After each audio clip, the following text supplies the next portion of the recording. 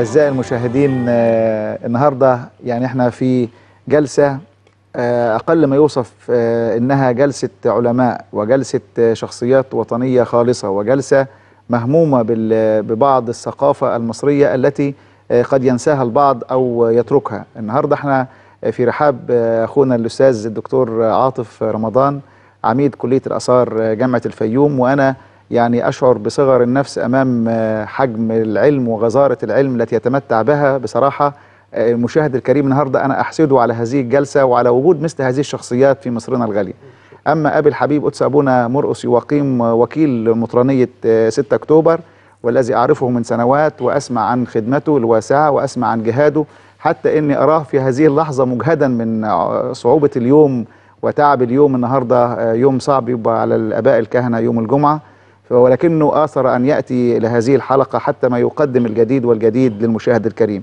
أعتقد النهاردة ال- الجلسة وطنية خالصة. مهمومين آه، بنحاول نقول للمواطن يوم الثلاث اللي فات ده كان يوم جميل يوم وطني يوم عظيم آه، يوم التف فيه المسلمين والمسيحيين الاحتفال بهدف واحد وهو رأس السنة الجديدة سواء رأس السنة الهجرية أو رأس السنة القبطية.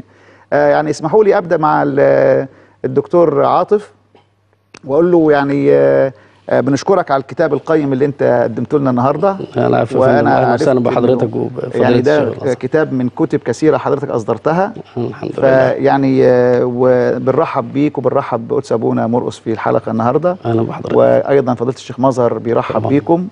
ويعني آه، وبنشكركم على هذه الهدية يا جميلة. شكرا يا فندم. لا رموز الأرقام والتقاويم على النقود في العصر الإسلامي. دكتور صحيح. عاطف منصور محمد رمضان كلية اداب جامعة سوهاج لا عميد كلية الأثار جامعة الفيوم بقى خلاص ده ما- زمان ما قبل ما أروح الفيوم. آه قبل ما أروح الفيوم. آه.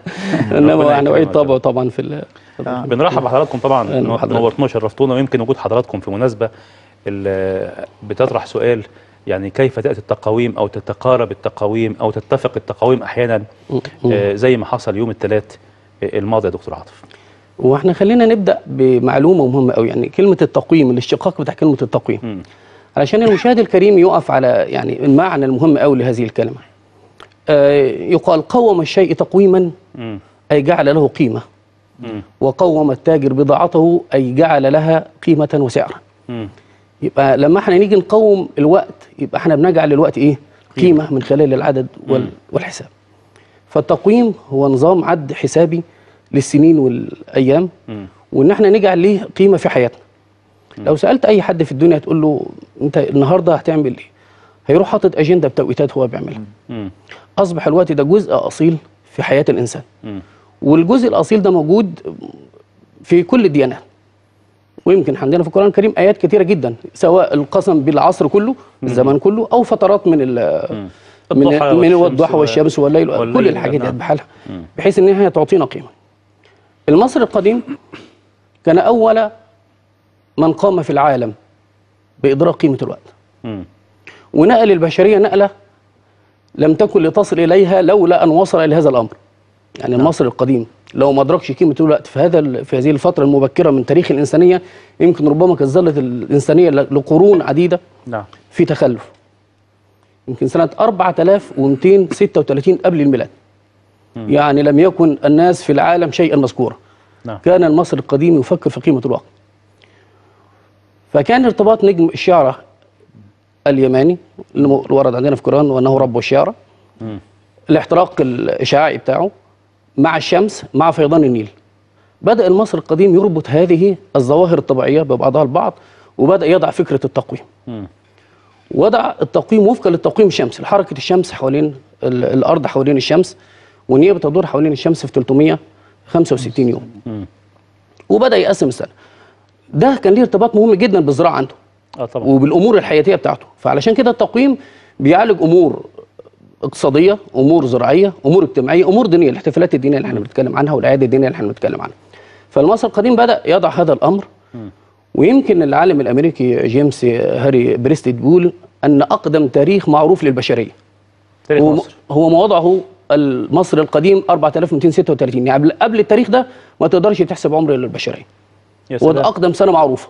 4236 ده 236 أقدم سنة. قبل الميلاد. آه. اللي هو التاريخ اللي وضعه المصري القديم وده. أم- إمال إحنا بنحتفل السنة دي ب ب 6660 آه، للعالم- للعالم بقى. لل- للعالم لا لا. لا ابدا لا هو انت هتضيف ال 2000 سنة 2000 بتوع ال ال- 2018 سنة دول على ال كده- 4236 هو ده. يدونا ال 6000 وشوية اللي إحنا بنتكلم آه، عنهم آه، دول آه يعني هو ده التاريخ اللي لما بتضيف آه. عليه 2000 سنة بعد الميلاد التاريخ الزمني 6000. المحسوب للعالم مم، مم. فكان بدايته من عندنا من هنا من مصر مم. فالمصري يفكر بدأ يلاحظ إن الأرض بتدور حوالين الشمس في السنة لمدة آه، آه، في 12 شهر آه. آه، جعل الشهور آه، قسمها إلى آه، فصول. 30 يوم فصول هو عملهم ثلاث فصول فصل ال- ال- الزرع وبعدين فصل الإنبات وبعدين فصل الحصاد. ثلاث آه، فصول سنويه بالنسبة له.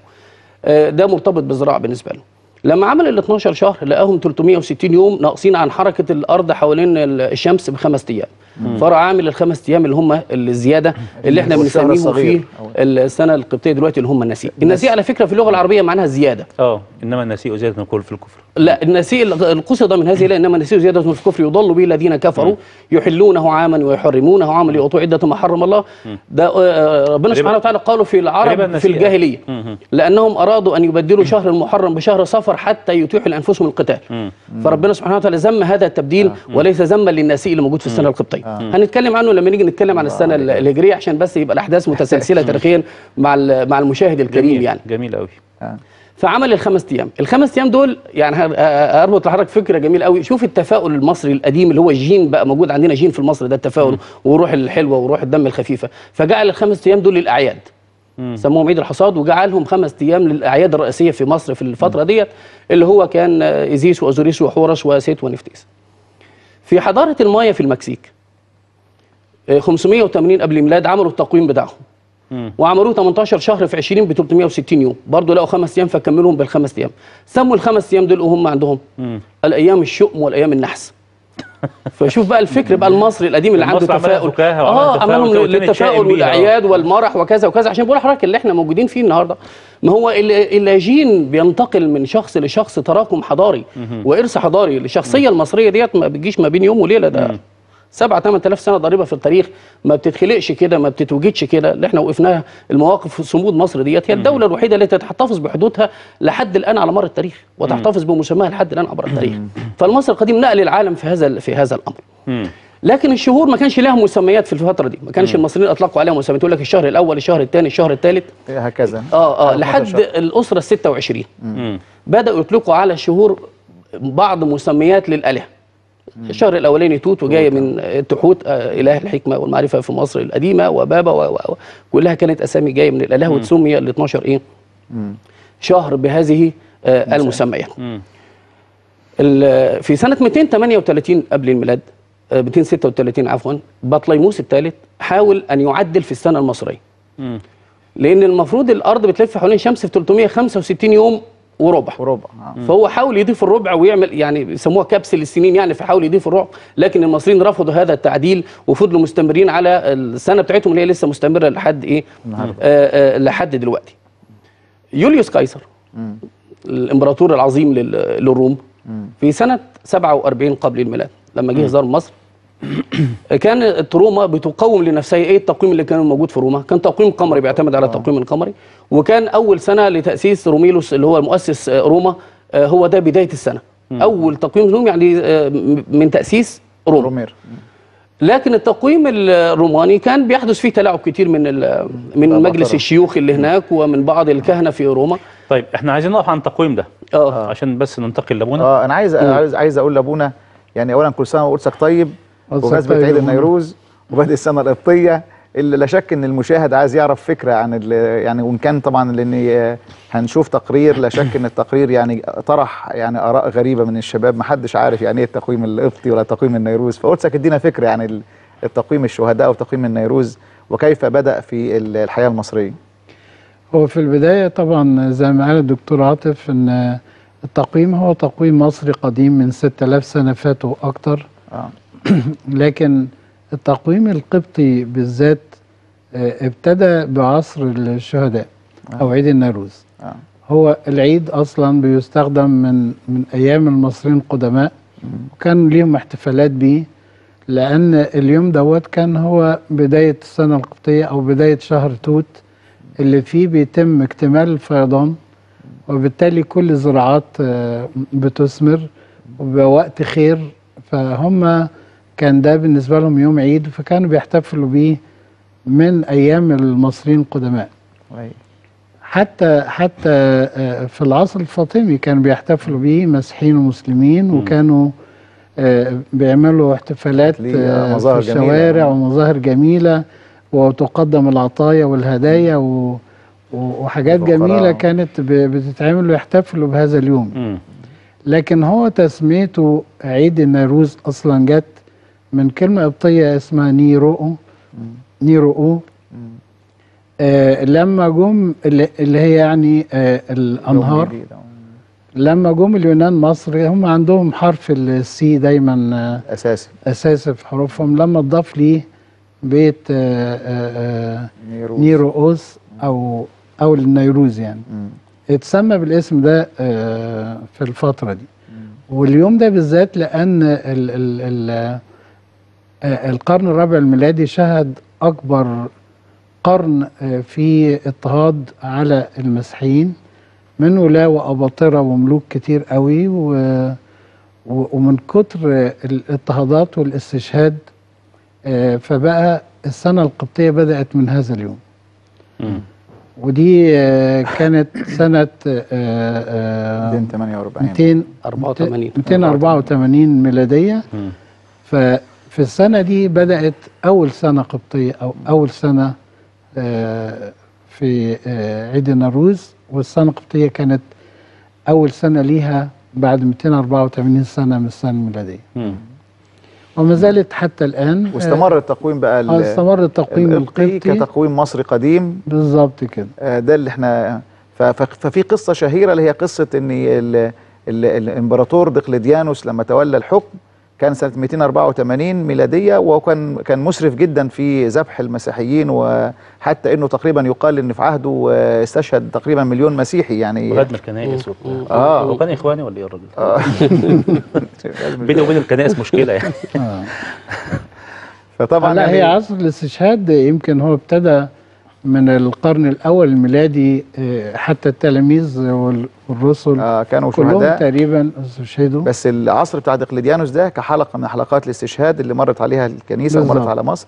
كانت أصعب الحلقات أو أصعب الفترات اللي على الكنيسة فلذلك اتخذ يعني آه، اليو- اليوم أو السنة اللي هو تولى فيها الحكم بداية للتقويم ال- القبطي القديم اللي أصلا كان قديم آه، فرعوني قديم يعني. بالظبط كده آه. طب إحنا معانا تقرير نستأذنكم سألنا الناس إخواننا في الشارع بعض الأسئلة المتعلقة بالتقويم سواء آه. رأس السنة الهجرية أو القبطية أو خلافه. هنشوف إجابتهم كانت إيه علشان ربما هذه الإجابات تفتح لنا أفقا جديدة في الحوار مع حضراتكم إن شاء الله. تعالوا نشوف إخواننا في الشارع قالوا إيه وجابوا آه، آه، يعني جاوبوا عن الأسئلة اللي طرحناها عليهم إزاي ونرجع لكم تاني.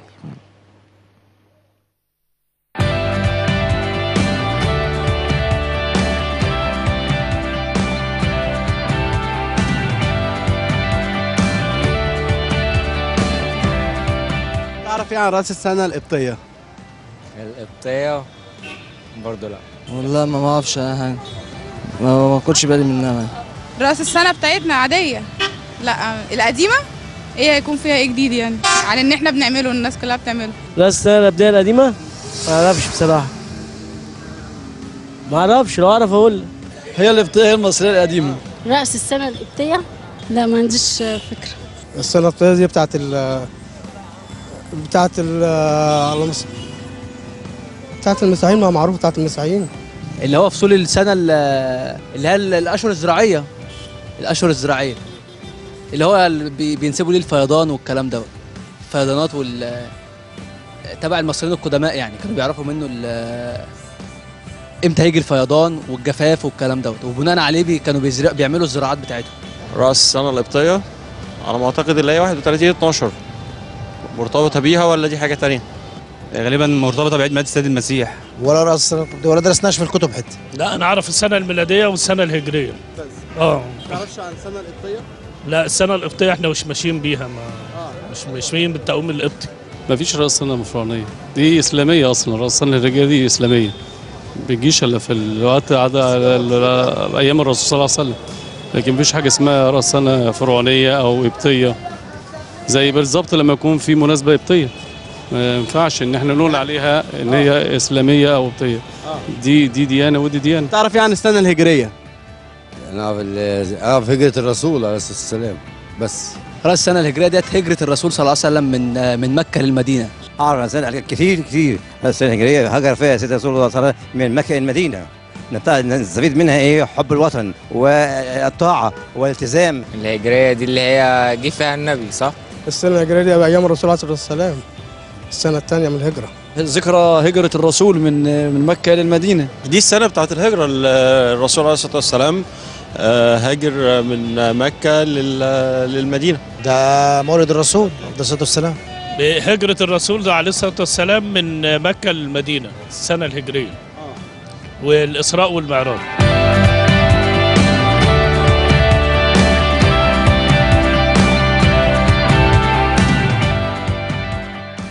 هو طبعا يعني آه، زي ما شفتوا التقرير من الشارع طبعا يعني مش التقرير بيتكلم عن نفسه. شفتوا قد إيه مثلا التقرير استضاف آه، مجموعة من الشباب والشابات ومن الكبار أيضا.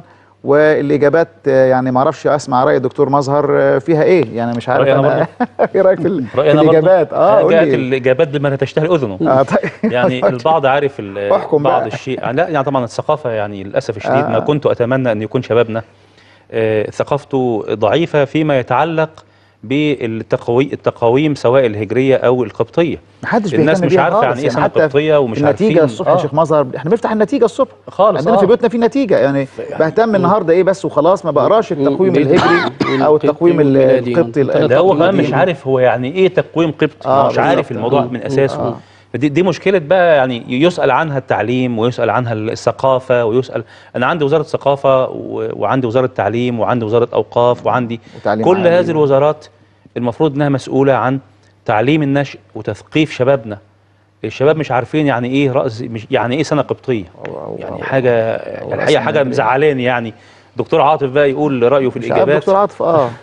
هو يمكن ال- الأسئلة كلها كانت بتدور في إطار القاهرة أظن يعني آه. ما راحتش في الريف يعني لو إحنا لا. في الريف أنا راجل من الفلاحين يعني أنا من المنوفية أنا راجل فلاح يعني. آه. فالتقويم القبطي آه، مرتبط بحياة الفلاح أكتر. امم لأن هو مرتبط بحركته في الزراعة.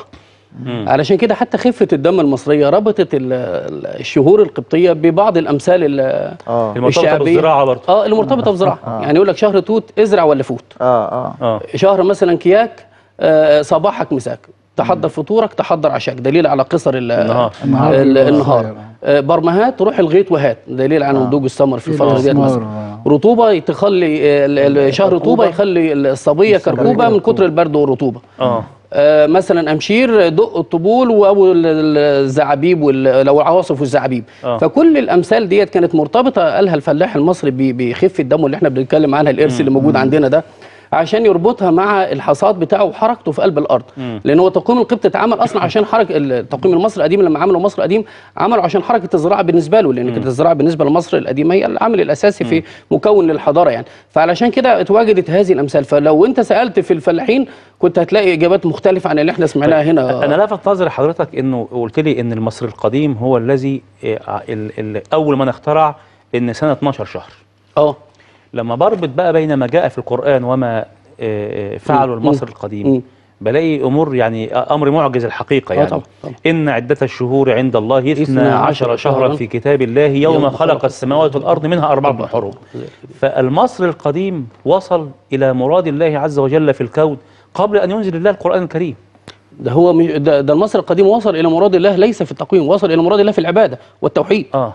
صحيح. فيعني المصري القديم ده, ده إبهار إنسان- يعني إنسان ملهم يعني الله إنسان- الله آه. عز وجل آه. اعتمد آه. ما وضعه المصري القديم المرت... ال- ال- من أمور مرتبطة بالتقويم وعدة الشهور و... وإلى. آخره كأن. الله اعتمد ذلك في القرآن الكريم آه، سبحانه وتعالى عشان وده بيدل على ان يعني ربنا سبحانه لما يضع هذه الآية في القرآن الكريم ده وضعت بعلم الله آه ونرى إن ال- المصريين في هذه الفترة في آه. في أن يصلوا إلى هذا الأمر في هذا الف- الفترة المبكرة من التاريخ بي- بيدل على مدى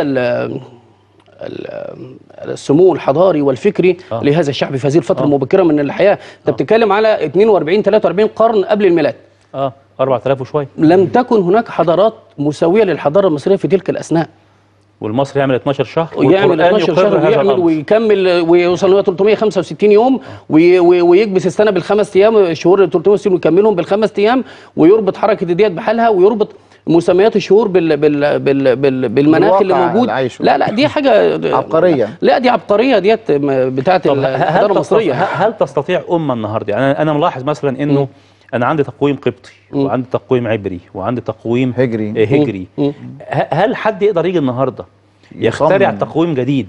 مرتبط. بحدث جديد ويعتمد العالم كله لا طبعا ويبقى خلاص انتهى ده هو دلوقتي آه، قمة. العلم دلوقتي اعتمد ما تم آه وضعه ده- ما هو القديم ل ما هو ده العجيب. 4236 سنة يعني من 6000 وشويه آه. العلم الحديث دلوقتي في كل العالم وفي كل الأفلاك وبكل الأبراج وبكل الدنيا بحالها والفونتو ثانية اعتمد ما قام به المصري القدي- القديم آه. من 6200 سنة إحنا عايزين نشكر يا دكتور مظهر في الأول عشان ما ننساش آه، فريق العمل اللي بصراحة اللي نزل وغامر ونزل الشارع وعمل التقرير الجميل وزعلنا اللي- يعني وزعلنا. آه اللي هو آه يعني كشف الحقيقة أو ماشي ما برضه زعلنا يا أبونا برضه. آه. هو آه بنشكر الأستاذ إيهاب العدوي اللي عد التقرير بنشكر الأستاذ أشرف عبد إيهاب الحكم بيجيب الناس اللي مش عارفة بس. ويسالها خد بالك. وأكيد في. ناس جاوبت هو هو هو أصلا زعلنا خد بالك. المونتاج عمله الأخ أشرف عبد الحكم. بنشكر المخرج الروائع الأستاذ حسام. بنشكر أيضا آه، رئيس التحرير الدكتور مجد الإشنيني والأستاذة وجيه الاستاذه جينا وجيه الأستاذ أحمد مساعد المخرج كل فريق العمل بصراحة اللي تعب في وقت قصير جدا إنه يعد التقرير بالشكل الجميل ده. بنشكرهم جميعا وارجع احمد الحكيم آه الأستاذ أحمد. الحكيم آه طبعا حبيبي و... تقول كل الأسماء المسيحية كاملة وتيجي عند أحمد تقول أحمد وتسكت يا ابونا فتنه طائفيه أنا هو هو هو هو عارف قد إيه بحبه لو سمحت أحمد الحكيم. حاضر هو عارف أنا قد إيه بحبه الاستاذه جينا وجيه والأستاذة مش- إيهاب العدوي والأستاذ مش- وتيجي عند الأستاذ أحمد. وتقول لي ما أعرفش الأستاذ أحمد آه. مين طيب هو هو حسام مين يا. أستاذ حسام عشان أنت مسلم يا أستاذ حسام انت حسام. إيه ده مخرج الاستاذ حسام. العجمي أكبر آه مخرج في طبعا طبعا في الدنيا كلها يا ابونا ربنا يخليه يا رب ويعيش ويشتغلوا ويعيش ويقدموا لنا تقارير جميلة. طبعا. آه حلوة خالص الأستاذ حسام ده حبيبي طبعا. أرجع تاني لأبونا وأقول له يعني يا ابونا ليه التقويم ال- القبطي ارتبط بحكاية الشهداء؟ يعني آه، غريبة الحكاية دي خالص. آه، يعني ال- الموقف ده ليه؟ وإيه تكريم الشهداء في ال- في المسيحية؟ آه، اولا الشهداء طبعا هي يعني أسمى درجات الحب آه. آه، حتى السيد المسيح يقول أي حب أعظم, أعظم من هذا؟ هذا. أن يبذل أحد نفسه من أجل احبائه ف- فالشهادة دي أسمى شيء وأسمى درجات الحب. فليها مكانة كبيرة عند ربنا وفي الكنيسة وفي كل مكان. فهو آه، آه، آه، لما حصل عصر الاستشهاد سواء من دقلديانوس أو معاونين لأنه كان في اتنين من قواده واحد في الغرب وواحد في الشرق بيعاونوه في الاضطهاد وكانوا أكثر منه ظلما يا ساتر. وعذابا. آه. يمكن موتوا أكتر منه يعني. آه ماكسيميانوس وجاليريوس. آه. جاليريوس ده كان آه حاكم سوريا وكان آه في الشرق. وماكسيميانوس كان في الغرب. وهما الاثنين يعني ياما عملوا منشورات. لإبادة المسيحيين و... وعملوا خطة كيف ينهوا على المسيحيين بأكملهم. حرقوا كنايسهم موتوهم وسجنوهم و... وجردوهم من حقوقهم ال- المدنية و... وحولوا عامة الشعب من أحرار العبيد. يعني كل شيء اتعمل آه، وكانوا فاكرينهم كده هيقضوا على المسيحية لكن بالعكس ده كان الإيمان بيزداد قوة وعمق. وحتى داخل السجون كانوا بيسمعوا أصوات تسابيح والصلوات آه، آه، آه، لأنهم رفضوا عبادة الأصنام وبيعبدوا الله الواحد. يعني هو كان قضيتهم فكرة إن المسيحيين مطلوب تحويلهم لكي ما يعبدوا الأصنام. بالظبط كده. آه. آه، هو ده ده. رفضوا. يعني يعني آه. الدعوه إلى الوثنية. الدعوه الوثنية. أيوه بالظبط كده. هم عشان رفضوا ده فكانوا بينتقموا منهم و... و... فاستحق هذا ال هذا ال هذه التضحيات. استحقت بأن تكون هي بداية للتقويم. بالظبط كده. هو دايما بيحصل أبونا حدث, حدث، يعني آه. الهجره بالنسبة لنا برضه هو حدث، حدث, حدث. عظيم جدا انتقال. من مكان إلى آخر. آه وترك انتقال الأرض. من كمان من حالة كان فيها الإسلام مستضعف. مم. أو المسلمين مستضعفين ومشتتين وإلى آخره. إلى حالة أخرى هم فيها أقوياء وأصحاب دولة إلى آخره. هذا الموقف. فكان تحول. تحول. تحول كبير جدا. فبقى بداية للتقويم ال- الهجري التقويم الإسلامي يعني. بالظبط ولا يا ابو ولا يا دكتور؟ آه، ده طبعا لأن هو لو نشوف بداية التقويم الهجري عشان نبين إن الحدث إزاي اختيار الحدث الأعظم عشان يكون هو بداية التقويم. آه. نلاقي ان فكرة التقويم الهجري إن سيدنا أبو موسى الأشعري كان والي على البصرة. فسيدنا عمر بن الخطاب بعت له برسالة فقال له في شهر شعبان اعمل كذا وكذا. فسيدنا أبو موسى الأشعري رد عليه قال له يعني يا أمير المؤمنين يعني إنك ترسل إلينا رسالة وتقول فيها شهر شعبان لا ندري أشعبان هذا أم شعبان الماضي أم شعبان الإيه؟ القادم. سيدنا آه، عمر بن الخطاب كان عقلية إدارية فذة. آه طبعا. هو يعني هو المؤسس أنشأ الحقيقي الدواوين وأنشأ آه، بيت آه، المال آه، ويعني آه، عمل آه. هو دولة مش عمل دولة ممكن مش ممكن هو آه. عمل الدولة آه. شخصية إدارية فذة سيدنا عمر بن الخطاب فجمع المستشارين من صحابة الرسول صلى الله عليه وسلم الذين كانوا باقين وقال لهم يعني إحنا عايزين نعمل تقويم للمسلمين علشان خاطر يعني نتجنب نتطرق بيه كل آه. آه نؤرخ نؤرخ بيه كل. شيء. فكان هناك ثلاثة آراء الرأي الأول أن يؤرخ بميلاد الرسول صلى الله عليه وسلم اللي هو سنة 571 ميلاديه قالوا نحن نؤرخ بالسنة التي ولد فيها الرسول صلى الله عليه وسلم على أساس إن يعني هو حدث عظيم يعني نعم البعض الآخر قال نؤرخ ببعثة الرسول صلى الله عليه وسلم. نشوف السنة اللي بعث فيها الرسول صلى الله عليه وسلم ونجعلها هي مبدأ الايه بعد التقويم. 40 سنة من مولده. آه. والفريق الثالث قال نؤرخ بهجرة الرسول صلى الله عليه وسلم لأنها كانت الحدث الأعظم والتي فرقت ما بين الحق والباطل. يا فسيدنا عمر بن الخطاب اختار الرأي الثالث ووافقه سيدنا عثمان بن عفان وعلي بن أبي طالب أصبح ثلاثة من الخلفاء الراشدين الذين أتوا. فيما بعد سيدنا عمر عثمان وعلي رضي الله عنهم مؤيدين سيدنا عمر بن الخطاب في هذا الأمر. فجعل آه، فجعلت هجرة سنة الرسول. صلى الله عليه وسلم هي بداية التقويم. للنصر على الرغم أن الرسول صلى الله عليه وسلم هاجر في شهر ربيع لكنهم جعلوا شهر المحرم هو بداية هذا ال- التقويم. والشعور الشهور العربية كانت معروفة من قبل الإسلام.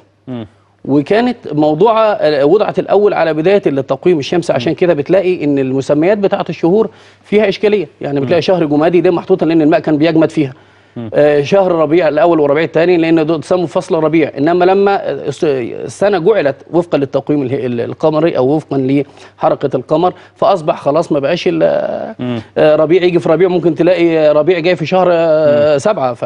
فاختلفت المسميات فكانت المسميات وقيل أن أول من وضع الأسماء للشهور العربية هو كلاب بن مرة في القرن الخامس الميلادي وهو الجد الخامس آه، في القرن الرابع الميلادي هو الجد الخامس للرسول صلى الله عليه وسلم.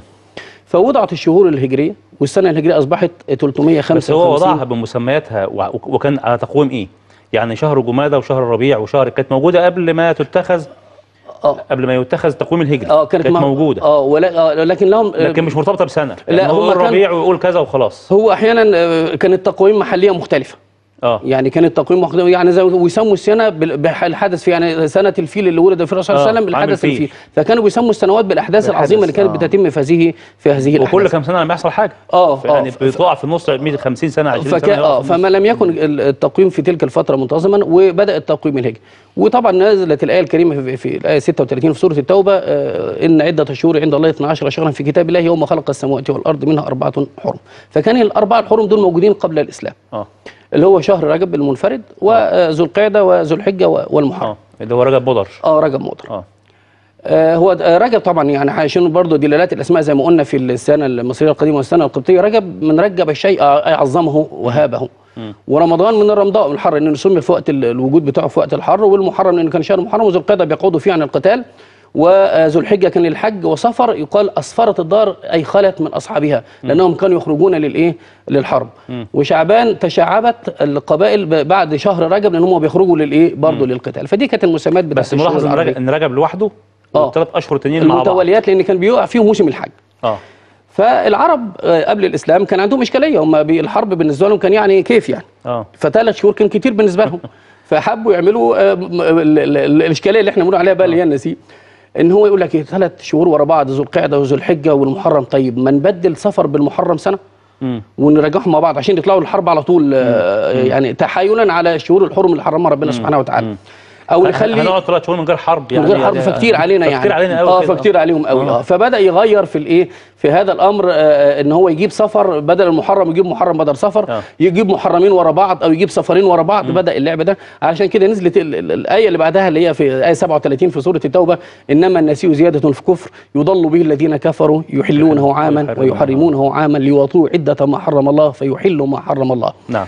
آه، فحتى أن رسول الله صلى الله عليه وسلم حينما كان في آه، حجة الوداع. ووقف خطيبا في أي هذا يوم اليوم هذا، المشهود. أي هذا. آه آه فقال ألا إن الزمان قد استدار كهيئته؟ مم.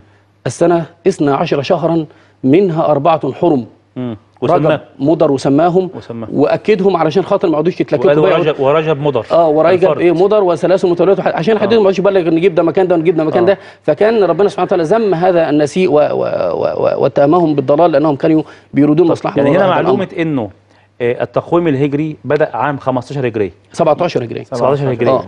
يعني أول مرة يتكتب فيها تاريخ هجري كان مثلا آه، كذا من رجب 1000 آه، آه، 15 17 هجري. آه بدأ في أول المكتبات آه تصدر من أمير المؤمنين عمر بن الخطاب في هذه السنة بهذا الشكل. لكن إحنا عندنا أقدم وثيقة بقى.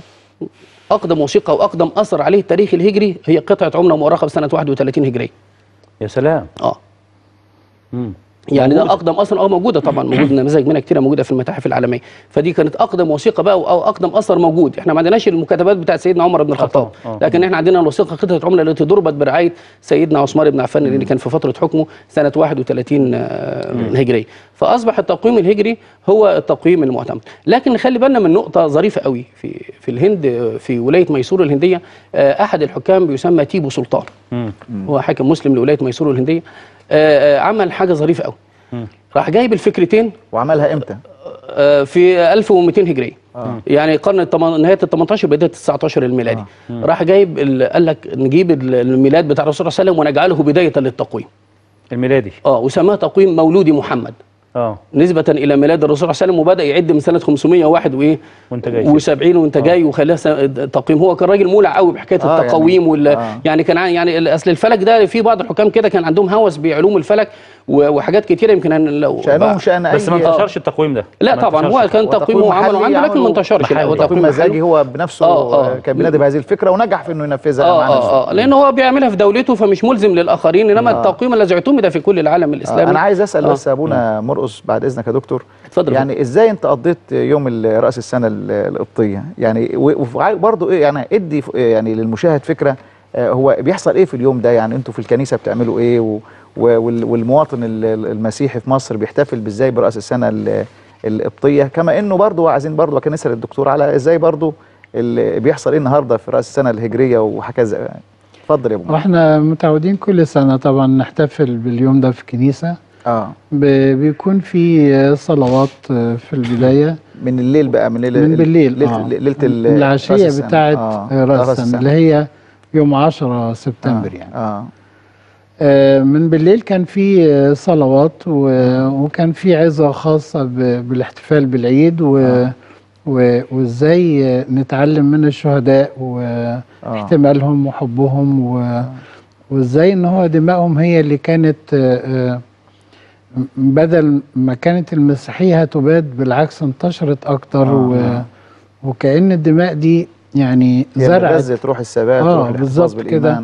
وزرعت مسيحيين جدد يعني دماءهم على الأرض يعني لأن الدماء كانت مالية كل الشوارع في كل مكان يعني.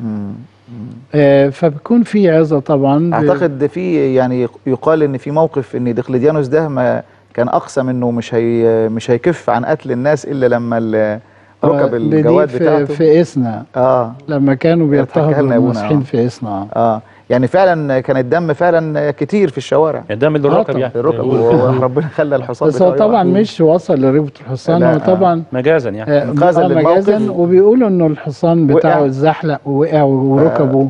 لمست فعلا الدم. جت فيها دم يعني. فقال لك كفايه كده أهو. آه آه. طب ك- كانت التهمة كده علنية. آه آه، أنه لا أنه. يعبد وفقا للمسيحية. للاصنام يقول له مش له تعالى بخر يقطع الأصنام. رقبته طبيعتين بقى الاختلاف آه. ما بين الطبيعه آه فبيرفض يقول لهم دي أصنام دي حجارة. أنا ما بعبدش حجر. حجارة.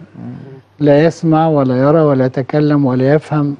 آه. آه فكانوا آه يعني لو رفض كانوا بيبتدوا في عذابات سلسلة عذابات. كل أنواع العذاب تفننوا فيها. يا نهار أبيض. بكل ال- الأشكال هل في إحصائية معينة مثلا قتل أو استشهد كم آه، مسيحي؟ آه مش بالظبط لكن هي أكتر من مليون واحد. يعني. مليون.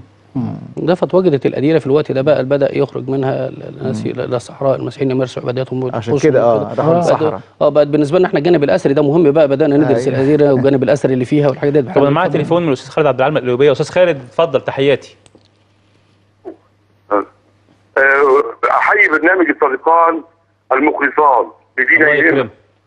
وقناتهما وبلدهما آه. والله. الله يكرمك. آه أنا بحييكم آه، وبقول لحضراتكم وكل المسلمين والمسيحيين على وجه الأرض بالخير واليمن والبركات يا رب. يا رب. بمناسبة توحد الأديان اللي تزامنت وقت واحد.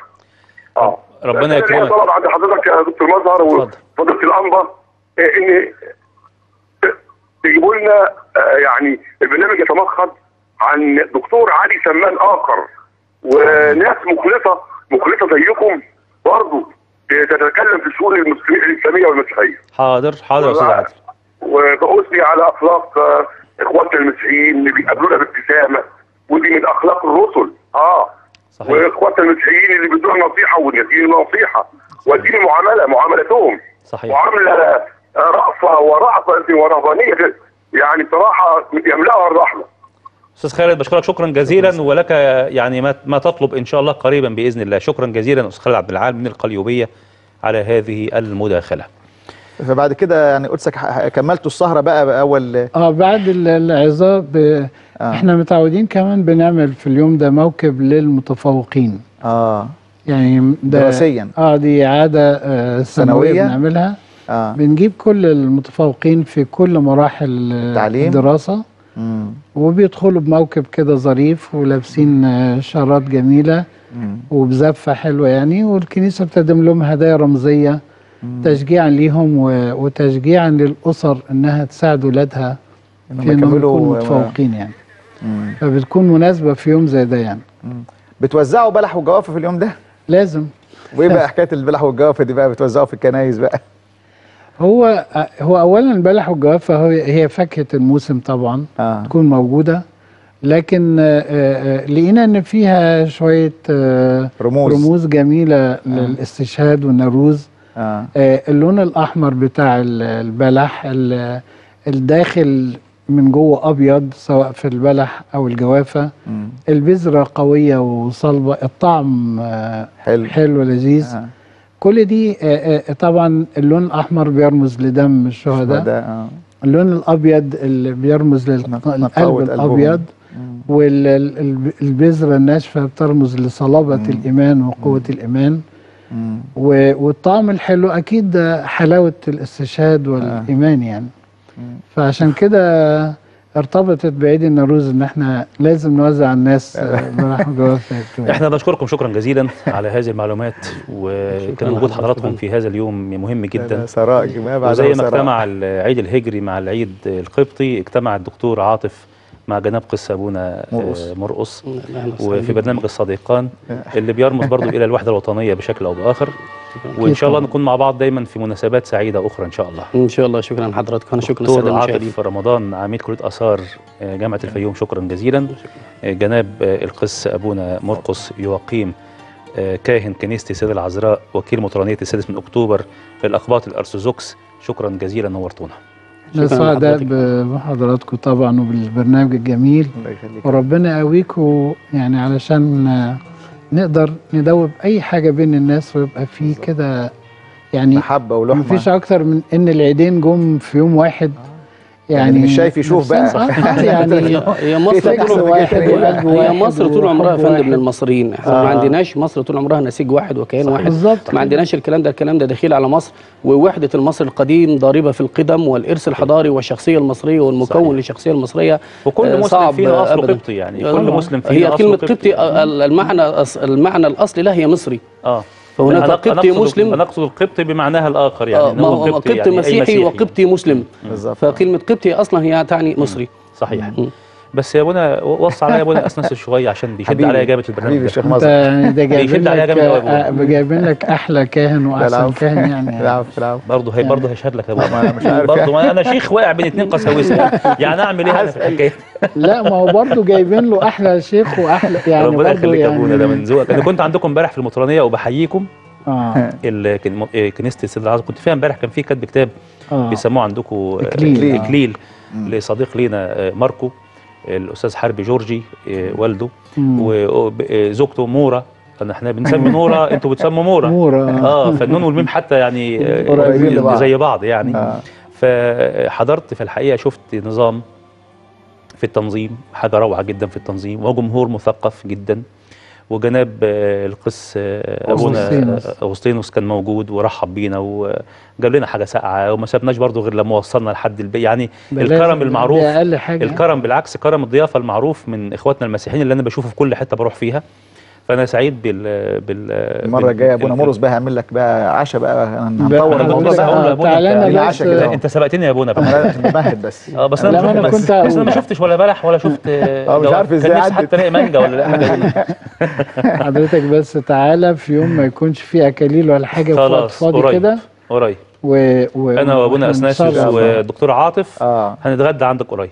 شاء الله. يعني ممكن من دلوقتي تقول لي وإحنا على لا هنحدد اليوم بعد الهوا عشان الجمهور ما يجيش. آه آه، إحنا هنعمل زي الفيلم. إحنا لو قلنا آه، كذا آه، الجمهور هيجي آه، بتاع الشرطه يجي الهوا. لابس تيشيرت أحمر في بنطلون ابيض آه، تلاقي كله جاي.